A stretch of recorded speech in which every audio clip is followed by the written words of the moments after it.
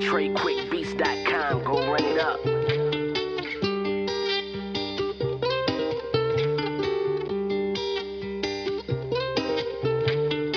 Trey Quick.